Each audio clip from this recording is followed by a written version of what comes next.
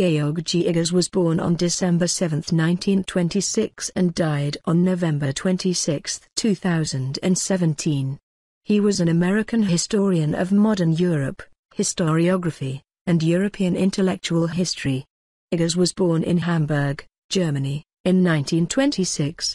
Being a German Jew he fled Germany with his family to the US in 1938, only few weeks before the Kristallnacht.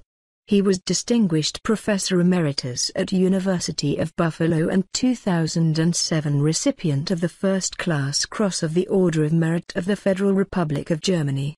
Iggers received the Humboldt Prize, honorary doctorate degrees from the University of Richmond, Technische Universität Darmstadt, and Philander Smith College, and fellowships from the American Philosophical Society, Fulbright Foundation, Guggenheim Foundation, National Endowment for the Humanities, and Rockefeller Foundation.